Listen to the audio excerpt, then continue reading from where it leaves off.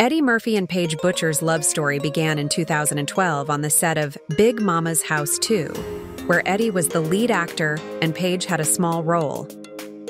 Their initial professional relationship quickly blossomed into romance as they started dating shortly after filming wrapped up. Their love grew with the arrival of their children, daughter Izzy in 2016 and son Max in 2018, enriching their lives. Eddie and Paige have maintained a very private life, rarely discussing their romance publicly, yet occasionally seen together at red carpet events. Despite the public eye, they've managed to keep their relationship strong and happy, focusing on their family and personal happiness.